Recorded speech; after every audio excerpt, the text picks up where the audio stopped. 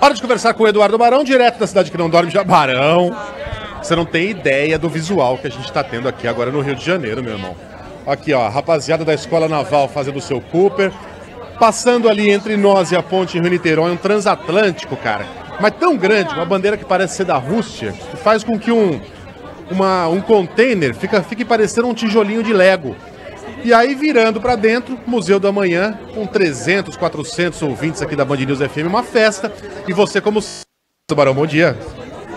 Fala, Megali, bom dia para você, para todo mundo na cidade maravilhosa, um lugar belíssimo, né, que foi é, completamente remodelado. A gente acompanhou de perto esse movimento, vimos como ficou legal esse espaço, vale a pena todo mundo é, conhecer. Muito bacana, mais uma vez, essa presença da Band News FM, ainda comemorando os 18 anos que tem que ser comemorado com os nossos ouvintes mesmo, né, Megali? Barão, lembra do dia que a gente veio passear aqui no Porto Maravilha?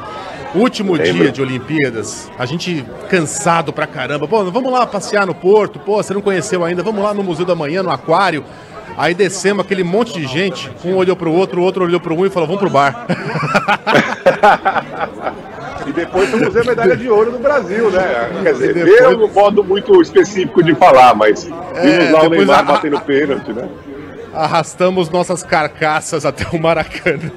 Ô Barão, o governador da Flórida, como esperado, parece que vai mesmo se candidatar à presidência dos Estados Unidos, né? É, vai tentar, né, Megali? Hoje vai ser feito um anúncio, logo mais, é, por volta das 7 horas da noite, né, no horário aí do Brasil. O Ron DeSantis é o nome dele. É, e tem um detalhe: vai ser um anúncio feito ao lado do Elon Musk, o dono do Twitter. Vai ser feito primeiro ali é, na rede social. Muita gente trata o Elon Musk como uma versão é, 2.0 de Donald Trump, né? Mais jovem, tem 44 anos, mas segue a mesma linha né, populista de direita. É um anúncio esperado, Megali, mas neste momento, nesse exato momento, o Donald Trump ainda é o favorito para conseguir a vaga dentro do Partido Republicano. O ex-presidente tem 56%, segundo a última pesquisa da intenção de votos, contra 19% de DeSantis, que acredita na virada, acredita que essa situação vai mudar. E conta em especial com a justiça aqui dos Estados Unidos. Trump está respondendo a mais de 30 processos aqui nos Estados Unidos, alguns na esfera criminal, então muita coisa pode acontecer até a decisão é, do Partido Republicano. Mas, de qualquer forma, coloca mais um tempero nessa disputa presidencial, que hoje seria